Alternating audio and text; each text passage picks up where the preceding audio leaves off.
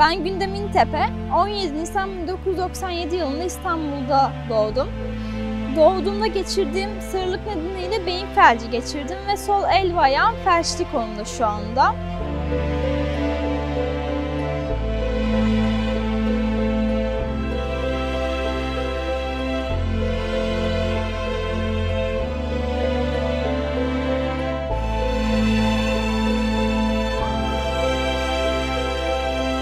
İki buçuk yaşına geldi doktorlar çok çaba gösterdi mi fakat e, ne yaparsam yapayım beyninde kistal bölgesi olduğunu zaten zihinsel olarak geri olduğunu e, dört buçuk beş yaşına kadar yaşayabileceğini e, söylediler. E, ben kabul etmedim. Çocuğumun e, zihinseli olmadığını e, ve bedenen geri olabilir ama zihin olarak diğer çocuklardan hiç farkı olmadığını iddia ettim. Zeka testi yapmasını rica ettim. Test sonucunda bedenen 1 yaş 2 aylık ama zeka olarak 4 yaş 8 aylık çıktı. Şu anda bir engelim yokmuş gibi gözükse de aslında ben e, felç geçirdikten sonra yani e, çok küçük yaşlardayken benim sol elim e, şu şekildeydi ve so- sol ayağım da içe doğru dönüktü ve topuma basamıyordum ben.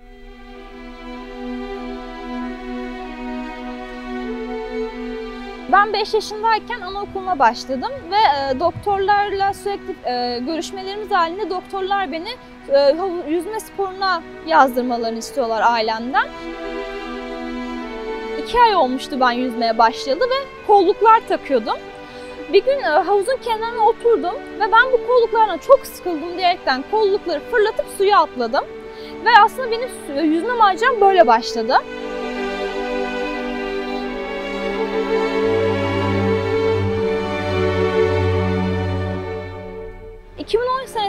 3 yaşındayken katıldım. Kahramanmaraş'tan Türkiye Bedensel Engeller Yüzme Şampiyonası'nda 3 altın madalyayla döndüm ve İstanbul Büyükşehir Belediyesi Spor Kulübü'ne dahil edildim. 2013 senesinde de e, Boğaz'ı yüzerek geçen ilk bedensel engelli kadın sporcu oldum. Müzik Gündem Emine İntepe ile yaklaşık e, 7 yaşında t- tanıştık. E, 11 yıllık bir spor maceramız oldu. Gündemi gündem yapan şey aslında onun azmi ve gayretiydi. E, Çok fazla serebral palsili çocukla çalıştım. Bu çocukların içerisinde parmakla gösterilecek ender çocuklardan birisidir gündem. Çünkü gündem e, mesela bir antrenman yaparsınız, antrenman biter sonrasında size daha fazla antrenman nasıl yapabileceğini size sorar.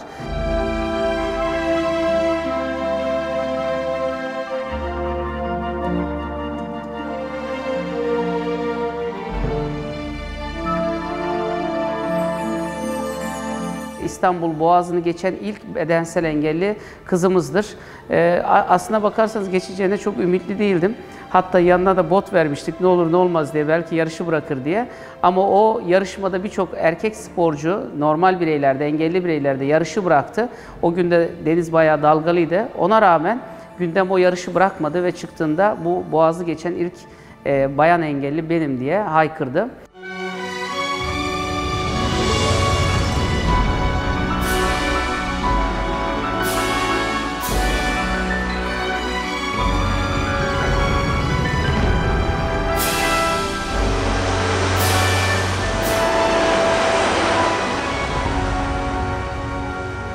Küçükken ben Boğaz yarışı hep böyle gazeteler, televizyonlarda bir reklamı geçerdi. Oradan görmüştüm ve çok istemiştim. Yani bu benim için bir hayaldi ama yani kimseye söylememiştim. 27 Temmuz 2013 tarihinde de Boğaz'da yüzdüm. Ee, çıktıktan sonra çok mutluydum çünkü kendimi üçüncü bitirdim zannediyordum. Ee, ve hani e, böyle çok değişik bir his vardı içimde.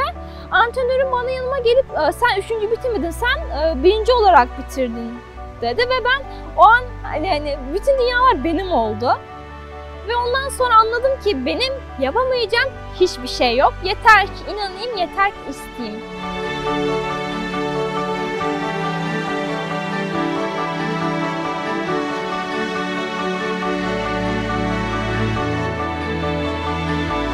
Yüzme serüvenim 13 yıl sürdü. 13. yılın e, sonunda ben e, çok ciddi bir kulak ağrısı ve çok ciddi elimde ve ayağımda uyuşmalar hissediyordum. e, klora alerjim olduğunu öğrendim. 13 yıl bir emek harcamışsınız bir şeye ve hani o emek bir anda çöp olması isteniyor. Bu beni çok hani duygusal olarak mahvetmişti hatta ve hani böyle çok kötü hissetmiştim kendimi.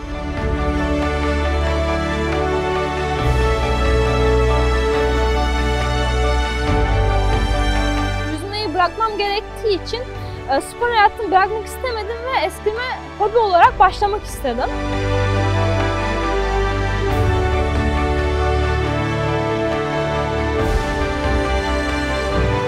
aynı anda ya birkaç derse giriyordur, ya fazladan bir şey yapıyordur, ya bir sosyal sorumluluk projesinde bulunuyordur, ya işte yüzmeden eskrime geçmiştir. Habire bir şeyler yapıyor, dolu dolu hayatı yaşayan, son derece pozitif, inanılmaz güzel bir insan Gündem.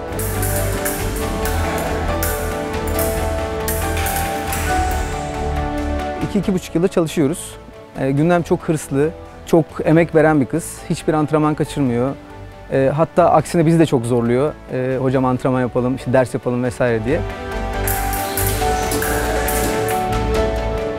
Eğer bir isteğiniz, bir hedefiniz ve veya bir hayaliniz varsa öncelikle e, bu isteğiniz ya da hedefinize net olmanız. İkincisi doğru istemeniz. Üçüncüsü bu e, bu şeyi gerçekleştirebilmek için yollar aramanız ve bu arayışı hiçbir zaman bırakmamanız. E, Yenilikler varsa bunu e, takip etmeniz, çok çalışmanız ve sonunda da teşekkür etmeniz gerekiyor. Eğer bunları yaparsanız da gerçekten istediğiniz şeye ulaşırsınız.